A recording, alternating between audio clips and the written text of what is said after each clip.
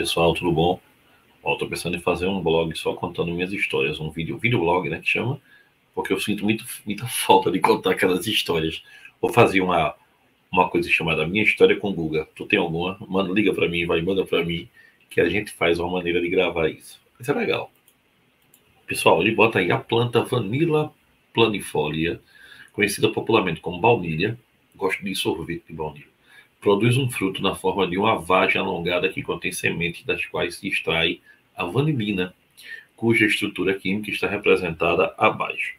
Essa substância é muito utilizada na culinária como aromatizante de doces e bebidas. Aí ele pergunta para a gente: as funções orgânicas presentes na estrutura química da vanilina são. Pessoal, é bem comum esse tipo de pergunta, tá? O que é que a gente tem aqui, ó? Veja, eu tenho aqui um anel aromático, você vê claramente, né? O anel aromático bonitinho.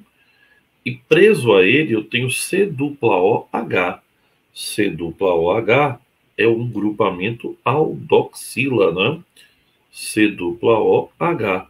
Então, isso aqui representa para gente o que, pessoal? O grupamento do aldeído. Na outra extremidade, a gente tem o quê? Deixa eu mudar aqui a cor. A gente tem um OH.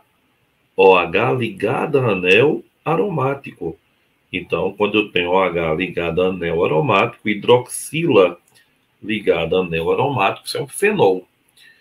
E logo aqui do lado, não se deixe enganar, eu tenho oxigênio e um CH3. Esse grupamento aqui é o grupamento que, pessoal, éter, não é verdade? Oxigênio como heteroátomo entre carbonos. Então, minha pergunta agora ficou mais fácil, né? Qual é o grupamento que a gente tem? Fenol tem, éter tem, aldeído tem. Letra A. Qual é o erro da letra B? Éster. De jeito nenhum, né? Éster é isso aqui, ó. C dupla O, O. E cetona, Guga? C dupla O em carbono secundário. Tá? Então, na letra C, ele diz que tem éster e cetona, não pode ser também. Na letra D, cetona. E na letra E, fenol e álcool. A gente não tem álcool. Álcool é quando eu tenho OH em carbono saturado. Carbono com ligação simples diretamente ligado ao OH. Tá? Pode ter até dupla, tripla, mas não pode estar no OH.